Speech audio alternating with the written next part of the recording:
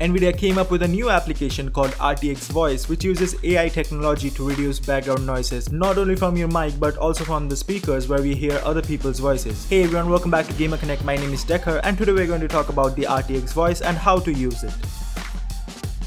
When we're playing games with our friends, we always like to communicate over Discord, TeamSpeak, or even by using the in-game voice. Now every time when we are in a voice chat, we usually hear a lot of background noise coming from everyone's mic, like the white noise from the fan or the clicking sounds of the keyboard and mouse. All these become very inconvenient when we are playing any competitive game and we need to hear the sound cues to locate the enemies. It also becomes very troublesome with these noises when we are recording an audio or while we are streaming. I personally had to go through a lot of softwares to reduce these noises while I'm recording or streaming, but it does that to some extent and is not very efficient.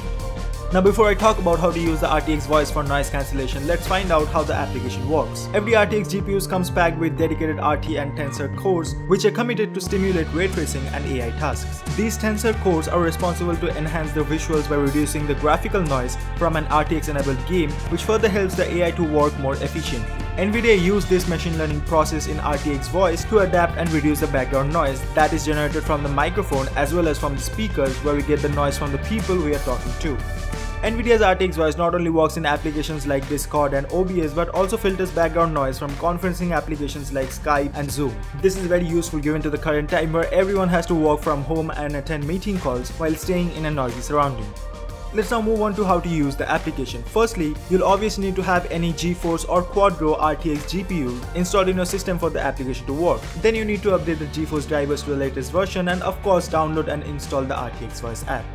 Using the application is very straightforward. When you launch the application, you'll find two options to select your input and output devices and below each of them there's an option to toggle to remove the background noise along with a slider to adjust the noise reduction percentage. That's all you need to do to boot up the AI to figure out the noises and the rest will be handled by your GPU. Although using the RTX voice might lead to very little frame drops while you're gaming, since both are processed by the GPU, but it should not be a major issue if the games are getting very high frame rates or unless you're playing games like Minecraft. So what do you think of Nvidia's RTX voice application? Tell us in the comments down below. Don't forget to like, follow and subscribe to GamerConnect.in and this is me Decker. See you again in the next video.